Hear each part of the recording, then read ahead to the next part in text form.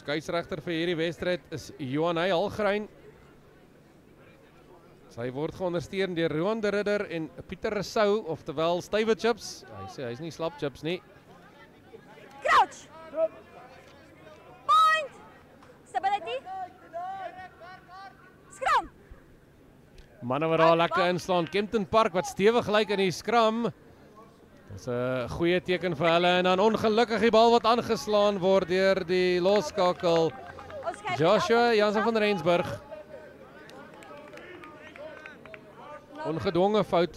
Moet sê bietjie buite sy karakter. Hy het gister verskriklik goed gespeel Joshua Jansen van Rensburg, een van die spelers wat uitgestaan het vir Kempton.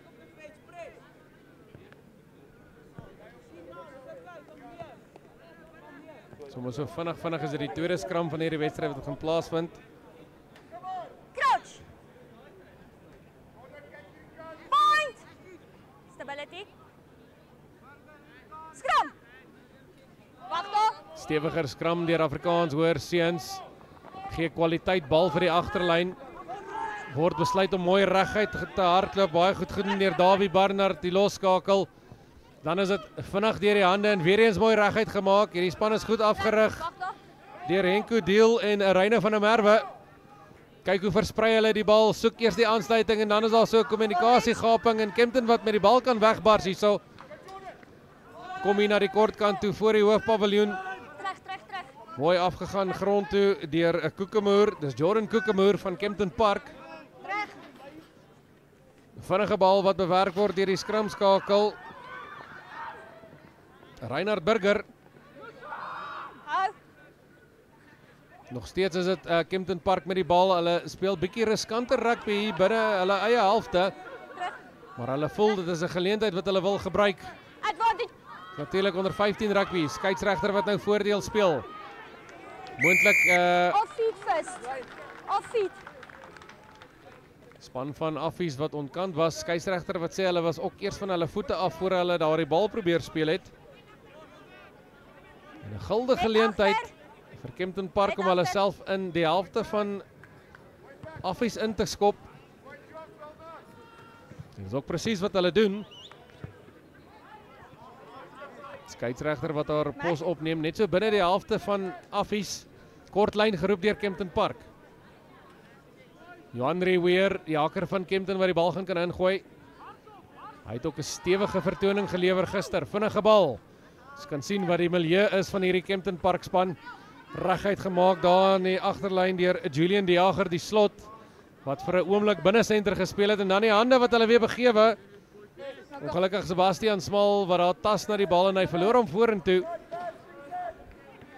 En Kempton Park wat hulle self onder druk hou in hierdie wedstryd ongelukkig.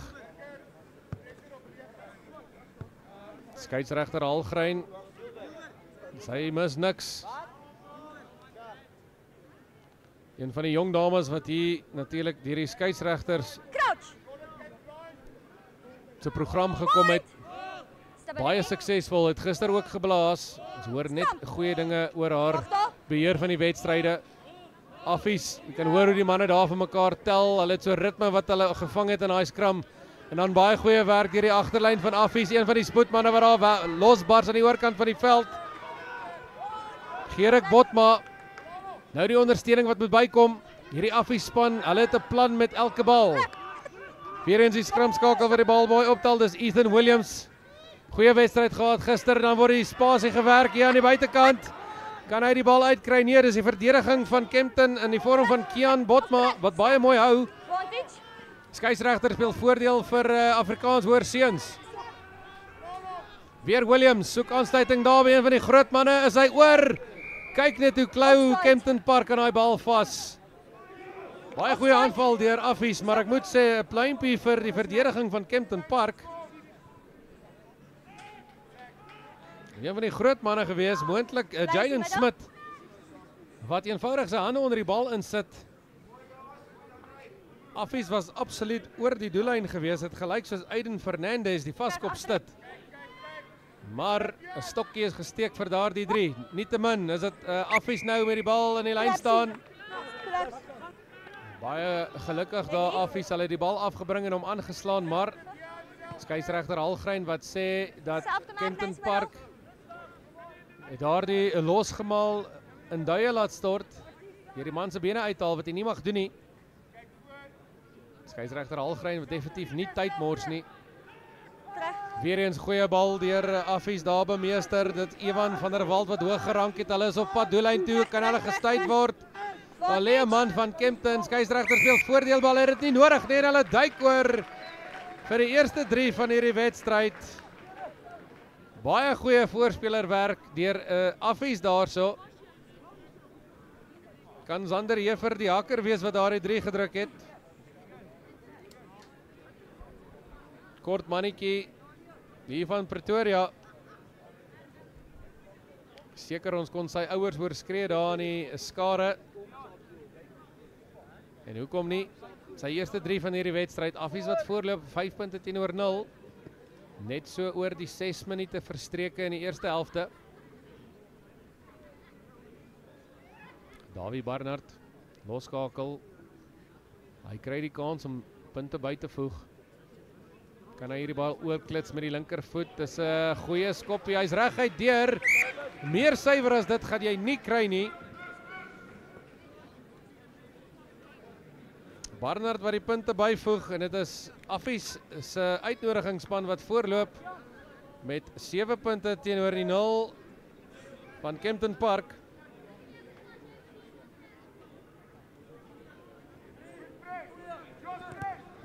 Bal wat afgeskop word van die middelpunt af deur Kempton Park. Joshua Jansen van Rensburg mooi opgevolg deur die manne in blou. Maar as die groenes wat wegkom met die bal. Ethan Williams.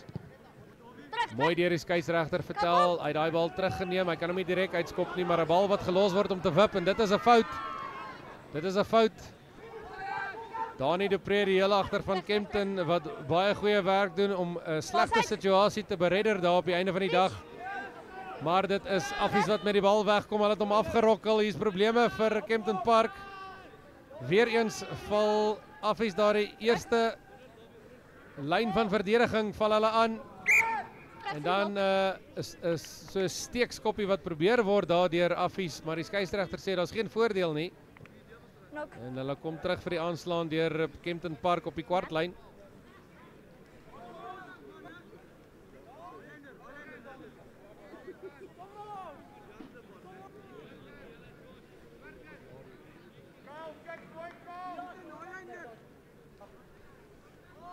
Ah, ah, los.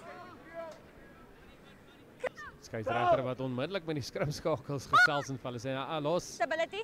Manne wat klaar met mekaar wil slaags raak daar. Bal wat ingegooi word Kempton met 'n redelike goeie skram hierdie keer. Affies wat nie die oorhand kan kry nie, maar weer eens mooi reguit gemaak in daardie eerste kanaal. Daai lyk soos een van hulle aanvalswapens. Williams wat die bal probeer vinnig uitkry, maar hy verloor sig van die bal en ongelukkig slaan hy die bal aan.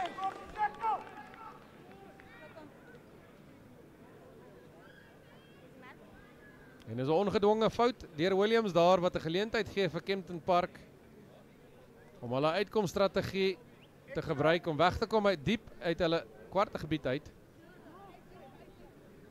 Moet sê die weer wat heerlik saamspeel vandag is bietjie koeler as gister. Bietjie van 'n wind wat waai, maar hierdie onder 15 manne, hulle is geneig om eerder met 'n bal te hardloop as te skop. Goeie skram deur Kempton Park. Kwaliteit bal wat gegee word vir die loskakel Joshua Jansen van Rensburg. Hy bring so 'n bietjie verligting deur die bal uit te skop aan die oorkant van die veld.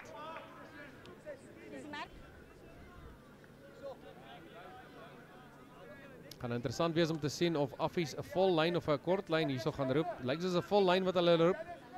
Dit kan moontlik net een ding beteken. Gaan hulle hierdie bal dryf? Hulle moet eers die bal onder beheer kry. Bietjie geluk met die ongeluk. Een van die groot manne wat die bal daar agter vat en dan 'n strafskop aan aan Kempton Park. Dis die merk. Baie goeie werk op die vloer gewees daar deur Kyle Miller, Net agter. nommer 7 flank. Hy het besluit hy gaan probeer om daardie bal te steel vir sy span. Kempton Park wat aan die bal vasklou. Rousseau Skeepers gelyk asof hy aan die bal vasgehou het agter in die lyn staan daar die bal probeer bemeester. Hy het dit wel reg gekry maar ongelukkig het hy die spanmaats by hom gehad om die bal te be te beskerm nie. En dit het gelei tot die strafskop en nou is uh, Kempton Park verwoed op die aanval. Mooi oor die voordeellyn gekom deur die agterlyn daar. Harde werk wat nou voor lê vir Kempton Park. Hulle is nog uit hulle eie helfte uit nie, naby aan die halflyn. Verdediging van uh, Affies wat nog steeds mooi hou. Harde werk wat ingesit word deur Julian die Jager. Jy kan hoor hoe die manne daar skree vir die bal, maar kyk hoe word sy palle gelig. Affie se verdediging uit die boonste rakke. As hulle verstry daar terug duik in 'n baie goeie laag vat. Losbal wat weer opgetel word deur die skrimskakel Ethan Richards. Affies wat die manne karnuffel, hulle kom net nie op die voorvoet nie. Weer eens een van die groot manne wat moet werk doen daar, Wikus van die kerk.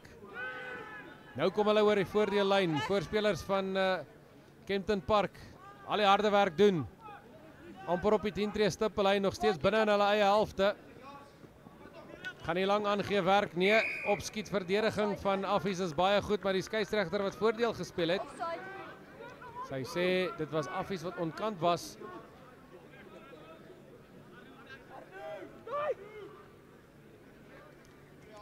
Kempton Park wat besluit hulle gaan die bal skop na die hoofpaviljoen kant toe is hy uit. Nee, dis 'n foutjie. Mooi in posisie deur uh, Affies en dan onmiddellik Affies wat besluit hulle gaan die skop probeer na die oorkant van die veld. Goed opgevolg, maar kyk net daardie swenkwerk deur die heel agter Dani de Pre. Binne in die helfte gehardloop nou van Affies. Kan hulle hierdie geleentheid gebruik Kempton Park. Dan is dit die spoedman daar aan die buitekant wat lostrek. Goeie werk deur Sebastian Smal. Maak dit tot in die kwartgebied van Affies. Hier's 'n geleentheid. 12 en 'n half minute wat oorbly in hierdie eerste helfte. Affies wat moet baie mooi kyk na hulle dissipline maar die skeieregter. Mevrou Halgrein wat nou met die kaptein van Affies wil praat. Weer eens 'n strafskop is die derde een in 'n ry. Kyk net dat hulle step. Weer eens mors uh, skeieregter Halgrein glad nie tyd nie. Sy sê haar sê en sy gaan na die punt toe en dis wat ons wil hê by skole rugby.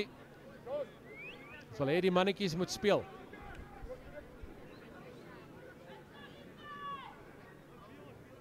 Telling natuurlik tans Met so 13 minute verstreke affies wat voorloop met 'n skamele 7 punte teenoor 0. Kempton Park wat baie mooi vasklou in hierdie wedstryd.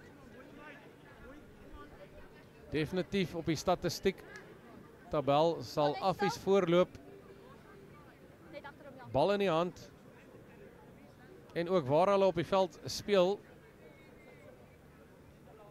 Maar tans is hulle net met 7 punte voor vir al daardie moeite. Kempton Park wat gaan kyk of hulle miskien 3 punte kan aanteken. Wyse rugby, slim rugby in my opinie. Nommer 19 met die bal gaan skop Jon Hardy. Kom vorentoe, tref die bal goed. Dis so 'n kort skoppie en hy's in die tussen die deur. En Hardy wat vir Kempton op die telbord sit. Dit is Hardy daar. Wat daar draf. Baie goeie skoppie deur die jong man. Speel vandag nommer 19. Hy het gister op die veld ook verskyn in die tweede helfte. Affies wat die bal aftel en dan skop hulle hom. Dit was lekker oor die middellyn gewees. Skeieregter wat haar rug gedraai gehad het, kon dit nie raak sien nie. Victoria Boys wat uh, Kempton Park ekskuus wat uh, die man daar gedraai het, dis Ethan Williams wat goed gedoen het om die bal oor sy skouer onder beheer te vat direk uit die lug uit. Baie goeie vaardighede wat hy wys. En hier is hy sommer dadelik weer by die uh, losgemaal op die vloer. Kry 'n goeie bal uit vir sy agterlyn. Skeieregter wat vir die manne van Kempton vra om die bal te laat gaan. Moenie aan hom vasklou nie, daar moet daglig wees. Hulle doen dit dan ook. Goeie 'n laagvat deur Giovanni Creer die los kopstit van Kempton. Maar Affies nog steeds op die voorvoet. Mooi afgetrap daar in die agterlyn. Dit lyk soos uh, Deronay Meyring. Nou die groot manne wat mekaar raak hardloop. Kyk net die vaardighede van Affies. Oorslaan aangee op die voordeellyn kry daai man die bal. Bewerk ekstra posisie hierso aan die buitekant vir sy manne. Ethan Williams wat die bal optel onder baie druk, kry 'n mooi bal uit. Kempton wat probeer om die bal te steel, onsuksesvol. Skeieregter Algrein wat sê speel aan. Kyk net daardie verdediging van Kempton Park. Dis ala die Lions rugby span van die afgelope naweek. Marius Lou op uh senter en kaptein wat die manne aanspoor om so te begin te verdedig hier by die skole vlak. En dan daai bus is vol. Hy word eers 'n muur afgestamp. En hy gaan nog steeds. Dit is af is baie mooi op die voorvoet hierso een van die groot manne. Dit lyk soos Aiden Fernandez wat daar gehardloop het met die bal. Affies wat beloon word met 'n strafskop. Ons kan hoor hier op die skeieregter se se mikrofoon hoe een van die mense in die skare sê Paule, Paule, Lyn. Kempton Park wat net net agter is met 7-3 affies wat behalwe vir daardie eerste 3 in die vroeg in die eerste helfte nog nie weer kon punte aanteken nie. Wys vir jou hoe goed Kempton Park in hierdie wedstryd hulle self gehou het.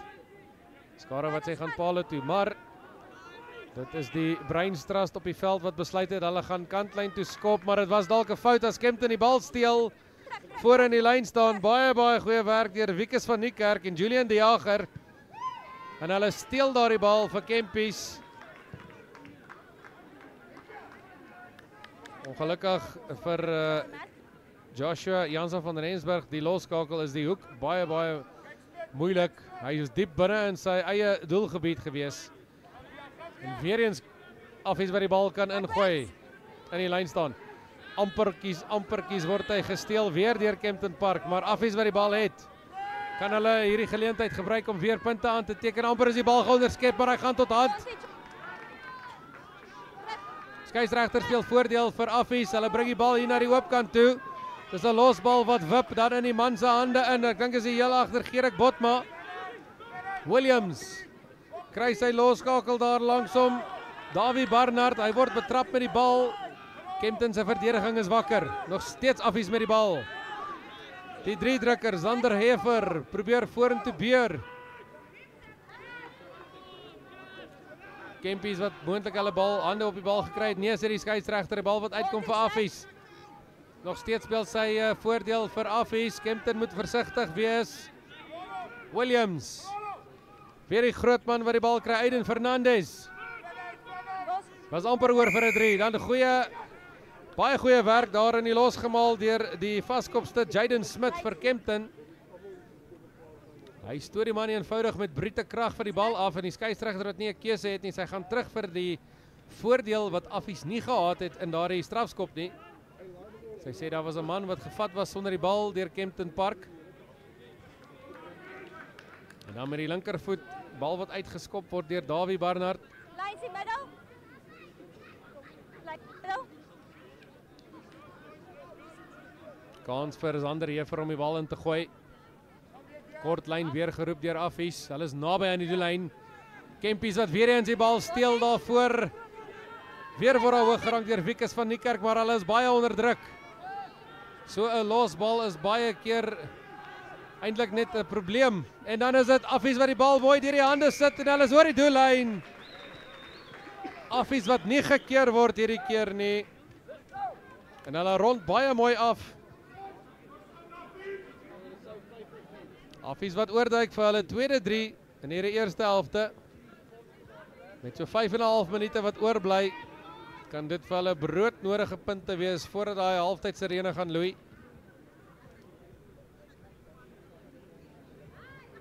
Resou skepers wat moontlik daaroor geduik het, ons sal probeer bevestig.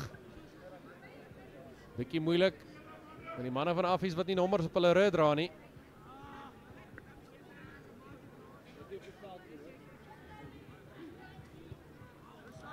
Verspot maklike skoppie vir uh, Dawie Barnard.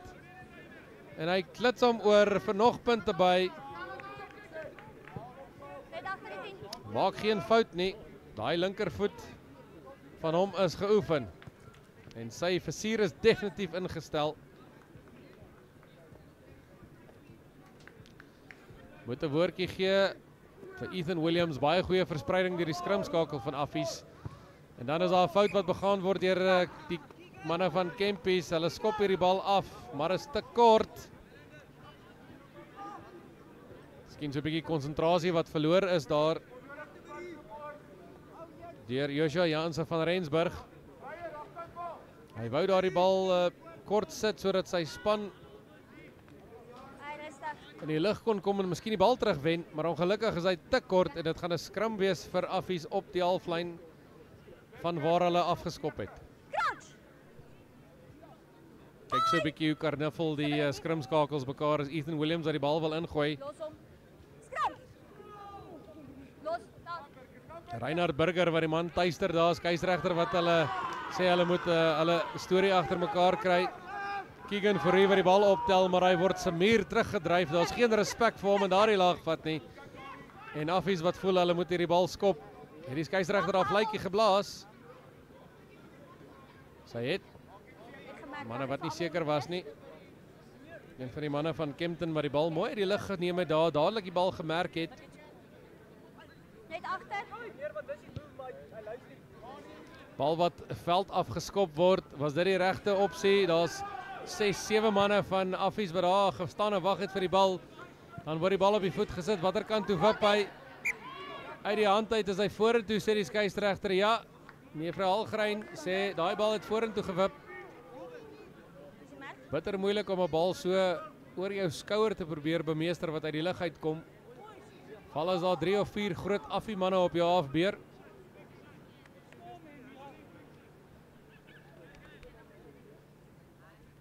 Hierdie aanvalsgeleentheid is 'n goeie ene vir affies. Daar's 'n lekker kort kant langs daai skrim. As Williams daai kant toe wil gaan, tans word die verdediging daar gedek deur Sebastian Smal en dan die skeieregter wat hard op 'n fluitjie blaas en die geleentheid is daarmee heen. As uh, Afrikaans hoor seuns se voorry Dis nou MJ Wilmaran Zanderhever en Aiden Fernandes gestraf word omdat hulle opdruk in die skrim. Uitkom kans uit hulle helfte uit vir uh, Kempton Park. Redelike goeie skop wat ge, gestuur word daar na die oorkant van die veld. Goed gedoen deur Joshua Jansen van Rensburg. Man met die geel stewels staan uit. Nie net vir sy goeie spel nie, maar vir die geel stewels ook.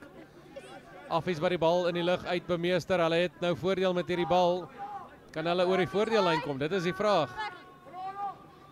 Williams wat 'n goeie aangee vir die agterlyn gee. Mooi reguit gemaak deur Affies se buitesenter Deron Meyring.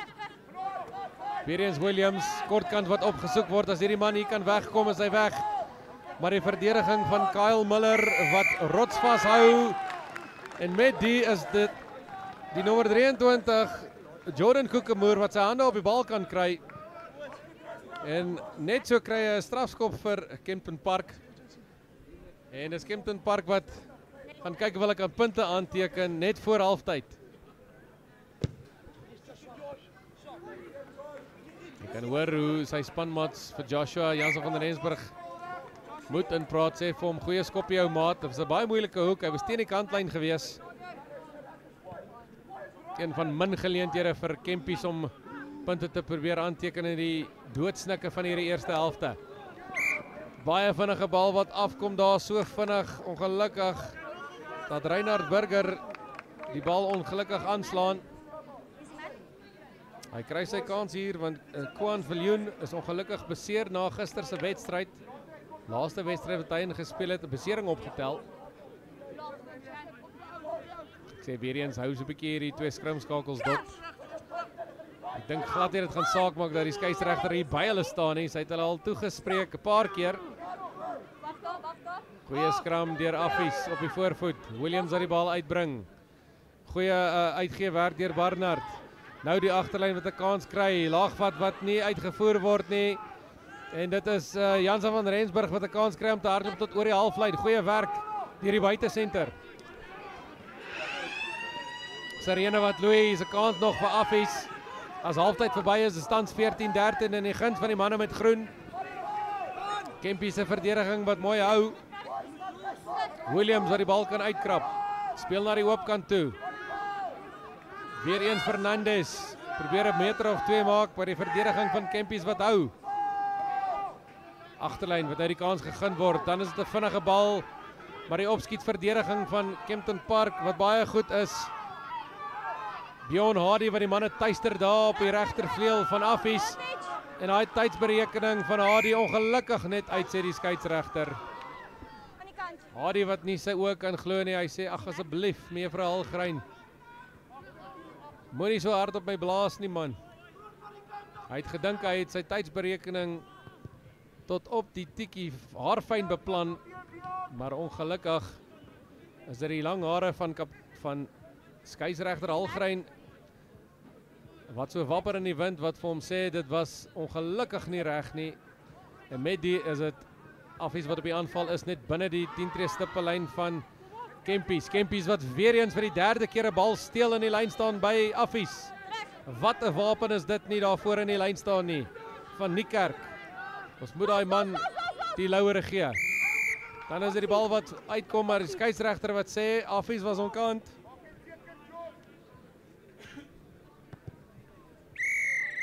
En dan Kempies wat besluit hulle wil halftyd gaan rus. Dit is 14-13 in die guns van Affies. 25 minute se opwindende rugby wat vir ons wag in die tweede helfte. Ek is Martin Toekskot se saam met Supersport Schools. Moet nêrens gaan nie, ons is nou weer terug.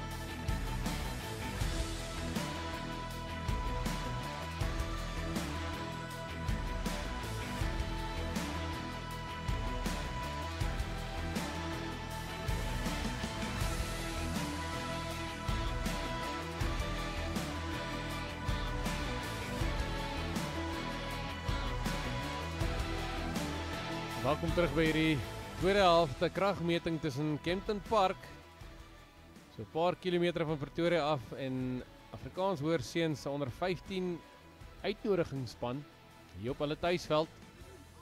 Loftus Versveld in die agtergrond. Natuurlik altyd lekker om hier te kom kuier.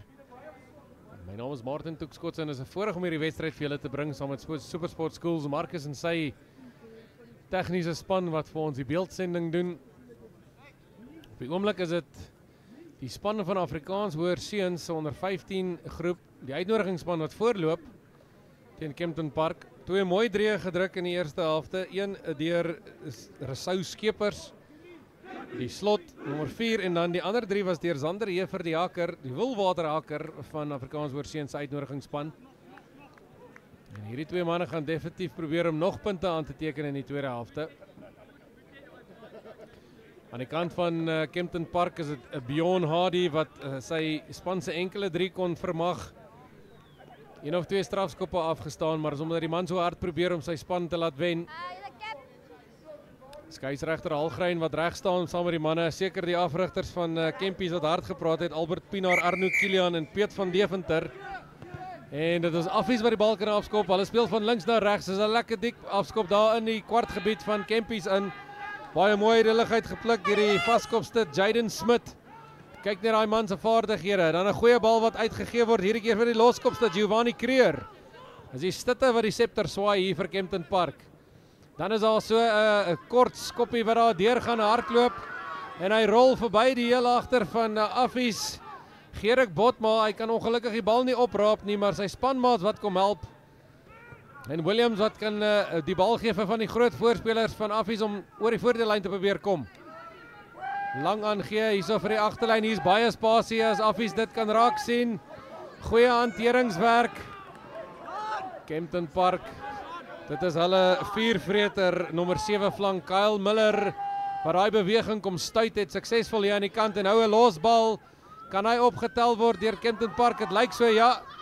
Baie mooi werk deur 'n uh, eh, die beseerde Reinhard Burger vir plaasvervanger.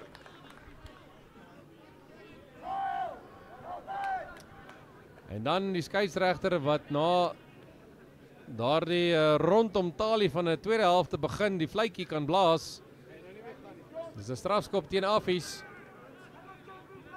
En hy word uitgeskop daar aan die oorkant van die veld deur die loskakel Joshua Jansen van Rensburg. Hy vryf so 'n bietjie hard daar op daai heup. Man wat hard gespeel het sover in hierdie toernooi vir sy span. Nie skoon bal wat uh, Kempies kry nie, maar hulle kry wel die bal.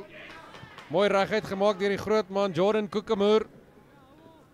Aansluiting wat gesoek word hier in die oop veld was daai aangee vorentoe. Nee sê die skeieregter ons speel aan. Maar goeie verdediging van Affies wat die manne daar agter die voordeellyn vasvat. En dis die druk wat wys as Kempies die bal skop.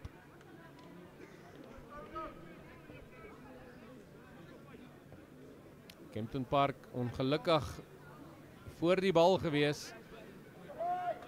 Toe daardie bal geskop was so oor die losgemaal.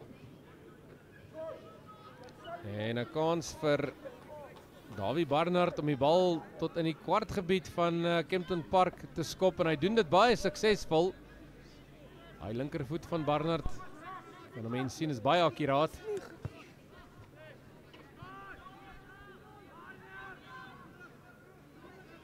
Meneer Pieter Rousseau, die assistent skeieregter. Daar aan die oorkant van die veld, jy kan sien dat daai vlaggie bietjie wapper in die wind. En net so pla daai windjie. En ongelukkig is dit die span van Affies wat te veel nommers in die lyn staan gehad het. Sekerlik uh, is dit die tipe dissipline wat meneer Deel nie by sy span sal wil hê nie. Hy en meneer Reyne van der Merwe Dis nou wat jy noem 'n sagte vryskoppie wat jy weggee. Die skeieregter gee die nommers nog voor die lyn staan ook. So eintlik geen rede dat jy te veel nommers sal hê nie en ons sal sien of Affies hierdie keer gehoor gee daaraan. As daar baie late man van Kempton is wat wegval uit die lyn uit.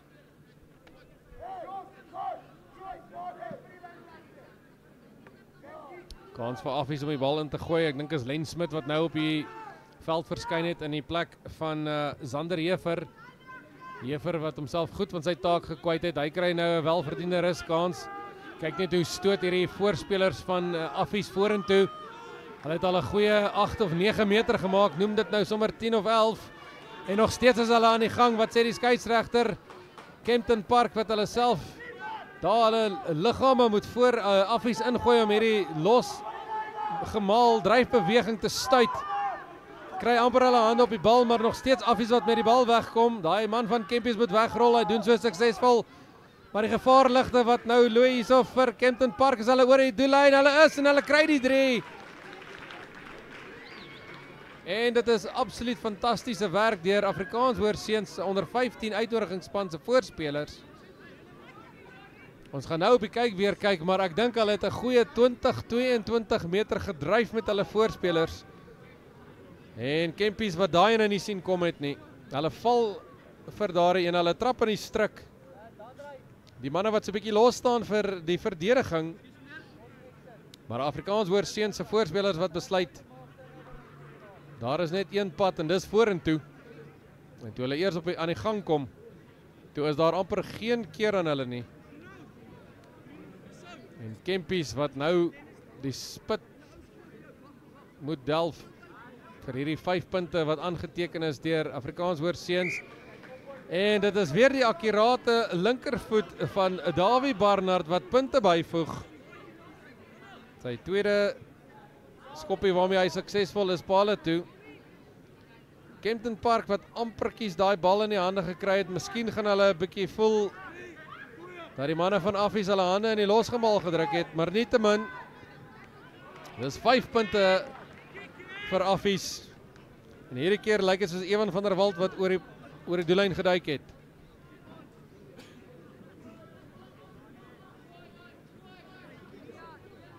afskop wat uh, redelik suksesvol is. Kempton Park wat hulle self daar diep binne in die helfte van Affies bevind. Bal wat oorgegooi word agter geluk. Gelukkig vir Affies word hy bemeester. Kempies wat die manne gaan hier wil lak so vinnig as wat hulle kan en hulle hier onder druk wil plaas. Williams wat die bal diep gee vir Barnard. Barnard wat besluit hy gaan hierdie bal veld afskop. Baie mooi ingeneem daar deur die agter 'n uh, paar Kian Boot Botma En dan bars die man daar weg, maar dis goeie verdediging aan die kant van Affies. En dan stroop hulle die bal by die man, gaan hy wegkom hierso en hy druk hom af met sy arm. En hy's heeltemal te sterk en heeltemal te vinnig. En dit is Affies wat ongelukkig nog 'n 3 vir Kempton Park aanteken binne 'n minuut van hulle vorige 3. Ons gaan probeer bevestig wie hierdie 3 gedruk het, maar dis een van die spoedvrate agter in Affies se agterlyn. Man wat skaars hard asemhaal. Gaan 'n waagskoot waag en sê dit is 'n uh, Tristan Herbst. En dit is Kempies wat op die voorvoet was. Ongelukkig verloor hulle die bal. Dani de Pre die heel agter wat man alleen probeer om deur die span te hardloop. Hy het nie ondersteuning nie. En baie goeie verdediging van uh, een van die groot manne van Affies wat die man terugdryf. En met die gestoeiery neem hy die bal ook af, stroop hom van besit. En dit is die man wat die 3 aangeteken het wat die bal daar by hom afgestroop het en hy's heeltemal te vinnig vir Sebastian Smal die linkervleuel van uh, Kempies. En dit is nou Affies onder 15 uitnodigingsspan wat gemaklik voorloop 28 punte teenoor 3. Kempies wat die bal weer diep afskop. Hulle kry nie die bal onder beheer nie, maar nog 'n geleentheid as daai bal teen die veld afgeskop word. Mooi reguit gemaak weer deur De Pre. Kry hy hierdie keer ondersteuning? Nee, uh, daar's die manne van Affies maar die skeieregter wat sê hulle moet hulle hande van die bal afhaal. Losgemaal was reeds gevorm.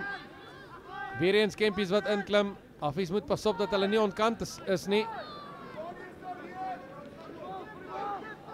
Skeieregter Algrein mooi in posisie, laat die spel mooi voortgaan. Nou 'n gele geleentheid vir Kempies. Gaan na na die oopkant toe. Voordeel word gespeel deur skeieregter Algrein. Grootman wat die bal daar onder beheer kry is Arno Swart, die binne senter van Kempton Park. Vat so 2 of 3 van die affies manne om hom grond toe te bring. Hy's 'n redelike reus vir 'n 'n binne senter.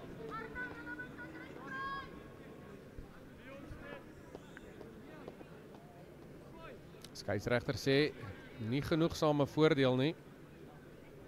Joshua Jansen van Rensburg wat die bal kan uitskop na die oorkant toe. Gaan hy hom uitkry? Nee.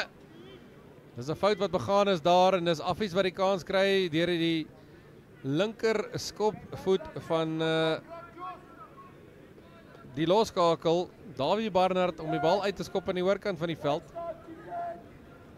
En die algeheel nie heeltemal 'n verlore kans vir Kempton nie. Hulle kan nog steeds die bal ingooi, maar hulle het nie veld gewen nie. Kortlyn geroep. Maar uh, dis die manne van Affies wat die ouens tuister daar voor in die lyn. Goeie werk hier Affies. Steel hierdie bal soos 'n dief in die nag.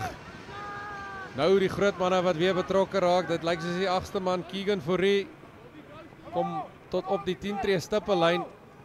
Nou twee fop hardlopers van uh, Afrikaans hoorseuns wat Kempie se verdediging vashou en hulle hou hulle so besig dat dit Affies is wat wegbreek hierso teen die kantlyn af. Baie goeie laag wat daar deur Dani de Preu van Kempton Park. Maar die gevaar is nog nie verby nie. Hier is gate in die agterlyn. En dit is Affies wat eenvoudig deurhardloop. En Kempton Park se verdediging wat hulle in die steek laat. Kyle Miller wat net kan sien hoe Affies oorduik vir hulle 4de 3 of hulle 5de 3 in hierdie wedstryd altans. Baie goeie werk deur Affies. Dit lyk vir ons asof daardie 3 moontlik gedruk is deur een van die plaasvervangers van uh, Afrikaans hoor wat op die veld gekom het. Hy maak dit verskriklik maklik vir sy uh skop skopmaat in die span uh Dawie Barnard om hierdie ene oor te klits want hy's reg voor die palle. Baie baie maklik. En daardie linkervoet van hom wat eenvoudig net nie kan mis vandag nie. Affies wat nou begin weghardloop met hierdie wedstryd 35 punte teenoor die 3 van Kempton Park. Ek kan nie help om jammer te voel vir Kempton Park nie. Hulle was goed in hierdie wedstryd gewees, nie ver agter gewees halftyd nie. Daar was die gevoel dat hulle moontlik kan terugkom. Maar miskien dag 2 wat nou 'n bietjie lank raak vir die manne van Bonero Park. Afskop wat uh, behartig word deur Bjorn Hardy, enigste man wat kon punte aanteken in hierdie wedstryd vir Kempton Park met daardie strafskop laat in die eerste helfte. Affies wat besluit hulle gaan die bal veld af, so is hy direk uit. Ja, hy is. Dis 'n foutjie. Hier's 'n kans vir Kempton Park. Daar's nog redelik baie tyd oor in hierdie wedstryd. 13 en 'n half minute wat oor is in hierdie tweede helfte.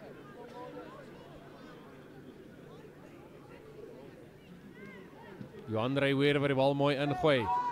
Goeie besit vir uh, Kempies. Nou mooi reguit gemaak deur die man daar met die Oranje skrampet. Dit is Cameron Mitrovic.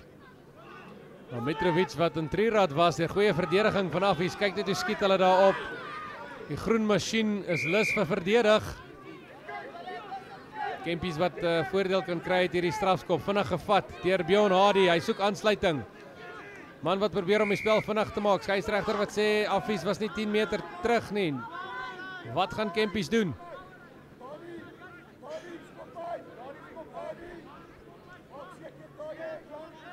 Kan hoor hoe die afrigters van Kempies vir Bjorn Hardy sê, "Hardy, skop uit, skop uit." Probeer 'n beter uh posisie op die veld te bewerk.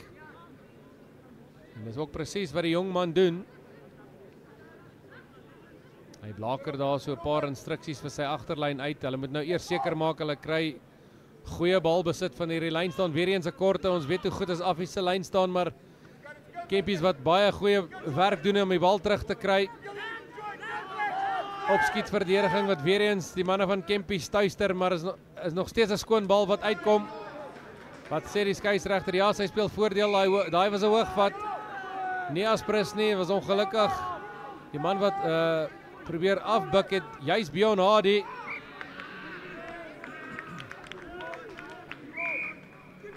En dan Bjorn Hardy, ongelukkig is dit sy dissipline wat hom in die steek laat as hy vir die skeieregter daar iets sê.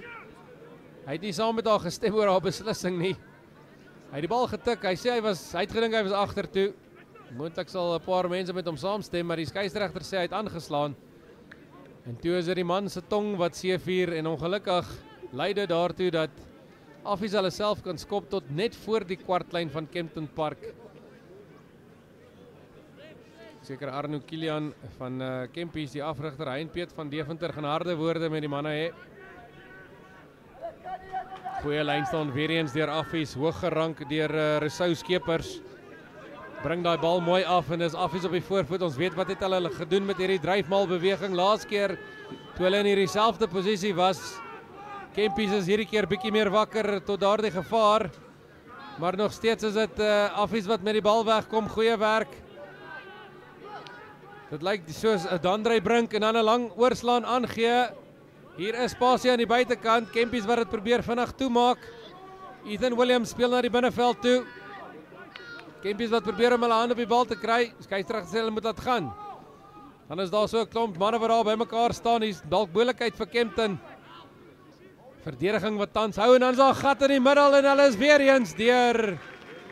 En dit is Affies wat hulle tweede 3 druk op dieselfde manier. Moontlik daardie man Deron uh, Meyring met sy tweede 3 van hierdie wedstryd. En hy stoot daardie telling op na 40 punte teenoor Kempton Park se 3.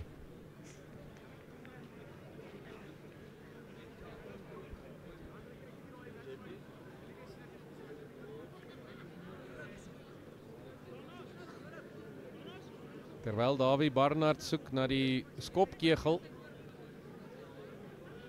Kans vir 'n uh, vinnige breek deur die twee spanne. Vang 'n paar slukke, miskien Pepsi. Sommige vir hulle dankie sê vir hulle borgskap hier vandag.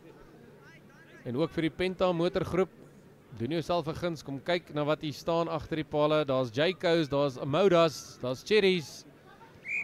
En ons punte op die tellbord deur Barnard se linkervoet. En hy strek daardie voorsprong wat Affies het met nog 2 punte na 42-3. En die tweede helfte wat nou bitter lank raak vir die manne van Kempton Park.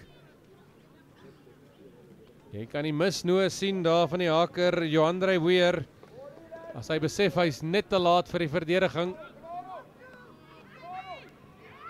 Affies wat daardie bal nie mooi kan bemeester nie. Maar nog steeds wegkom met die bal, so 'n bietjie geluk met die ongeluk. Kempies wat probeer inklim. Williams dat die bal uitbring. Val weer daai eerste kanaal aan. Kempies wat amper glo hulle die bal kon steel en dan is dit Barnard wat die bal met die linkervoet tref. Kans vir uh, Kempton Park. Weereens Dani de Pre is baie mooi in posisie die hele wedstryd al. Hy kort net so 'n bietjie ondersteuning van sy spanmaats. Goed gedoen om te hardloop tot oor die halflyn deur Dani de Pre. Dan is dit een van die groot manne wat weer betrap word daar met die bal. Dis Arno Swart die binnesenter. Hard geblaas op die vletjie deur skeieregter Algrein en sy gaan al die pad terug gaan. Sy sê daar was nie voordeel gewees nie. Arme Dani de Pre, hy was hoog gevat. Paar keer al baie hard raak geduik in hierdie wedstryd, maar hy hou nie op nie. Kan sien die man speel met hart en durf.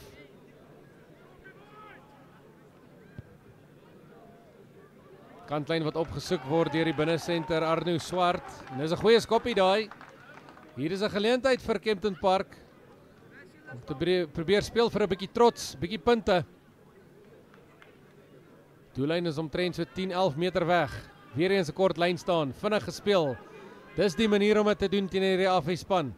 Kan hulle 'n voordeel trek daar uit? Mooi gehardloop en 'n hardloopie man baie hard raak daar deur nommer 23 Jordan Kokemoer. Kenton Park wat speel met 'n hernieude sin van uh, berusting hierso. Sebastian Smal wat gevang word met die bal en dan is hy spasie aan die onderkant. En ongelukkig is dit die hantering wat die man in die steek laat. Weereens daardie hakker Johandrey Weer. Miskien so 'n bietjie eers die doellyn gesien en toe besluit hy wil vinniger in 'n in 'n hoër rad in beweeg. En ongelukkig met die skuif na die hoë rad is dit die bal wat uh, by die man se hande uit daar uit hardloop. En hy verloor beheer en die skeieregter wat aan Affies die geleentheid gee en die keuse gee. Hulle kan kies wil hulle die lyn staan hê omdat die bal by die kantlyn uitgerol het of wil hulle die skrum hê want hy het vorentoe uitgerol wat tegniese aanslaan is. En dis die Breinstrast van Affies wat besluit hulle wil eerder met die skrum gaan Affies wat 'n stewige skram gehad het veral in die eerste helfte. Kempies wat mooi teruggekom het in die tweede helfte. Dit het 'n 'n kwaliteit platform geword vir hulle. Ethan Williams wat die bal kan ingooi, skeieregter wat eers die manne mooi wil laat stil staan. Stewige skram van beide uh, spanne, dan Barnard wat so oorslaan aan GG. Vnyk aangee na die linkerkant toe en dan word die bal aangeslaan deur die manne van Affies. En die skeieregter wat daar vletjie blaas vir die skram. Skramskakel van Kempton Park. Reinhard Burger Hy het sy geleentheid baie goed gebruik vandag. Hy was redelik lewendig oral op die veld. Hy het saam met my gedink dit gaan dalk 'n strafskop wees aan Kempton Park vir die man van Affies wat oor die bal gaan duik, maar die skeieregter het reeds al vletjie geblaas vir die skrim. Nog steeds 'n geleentheid hier vir Kempies. Daar's 'n lekker oopkant aan die oorkant van die veld. Paar verdedigers daar maar moet eers die bal wen en kyk na daai vaskoppie wat gehaak word deur Affies. Baie laat in hierdie wedstryd, daar's so 5 minute oor in die tweede helfte en dan word die bal geskop by die skeieregter wat weer eens die manne gaan terugroep. Sy sê dis die voorry van Kempton Park wat opgestaan het. En daardie laaste skrim en daarom is dit 'n strafskop aan Affies. Nie genoegsame voordeel uit die skop van Barnard nie. Hy het natuurlik binne die speelveld geland. Kempton Park se Dani de Pre was weer eens baie mooi in posisie, so daar's geen voordeel daarin en sy roep hulle terug. En die nagevolg daarvan is dit gaan 'n lyn staan wees vir Affies. 2 meter links van die 10 tree stippellyn en Kempton Park is al weer die agtervoet. Vinnig ingegooi, bal wat aangeslaan word deur Kempies. amper neem hulle daai bal af, maar Affies wat nou met die bal onder die hand hardloop. Weereens word die bal teen die agterlyn mooi afgestuur. Goeie werk deur die uh, buite 3 daar. Dit is Deron Meyring. Maak seker die bal bly lewendig en dan is hy spoed aan die kant van Affies. Kyk hierdie man wat hier teen die kantlyn afsuiker. Dani de Pre wat weer eens sy liggaam op die spel plaas vir sy span. Manhaftig neem hy daar 'n baie groot man af grond toe. Wel gedaan jong man, maar ongelukkig nog steeds 'n strafskop aan Affies. Gevaar is nog nie verby vir Kempton nie. Hulle gaan nou hulle keer moet ken. Net minder as 4 minute wat oorbly in die tweede helfte. Affies wat voorloop 42-3. Is dit 'n voorbal? Ja nee, dis weer 'n voorbal, maar die derde keer wat die bal gesteel word deur Kempies, maar dan is daar 'n fokus wat verlore gaan en dit is Affies wat oorduik. As die bal in die lug inspat, hy wip net mooi in die manne van Affies se hande in. En dit is Affies wat kan oorduik vir hulle 5-3 in hierdie kragmeting met die skoppie wat nog moet kom.